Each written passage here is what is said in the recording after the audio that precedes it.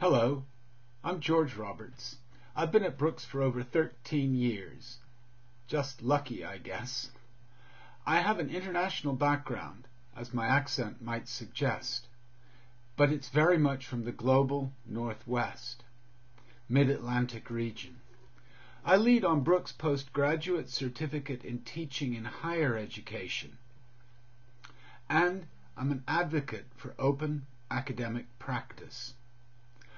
Over the next year, we aim to be moving this course, Internationalizing the Curriculum, into OCSLD's suite of accredited open online modules.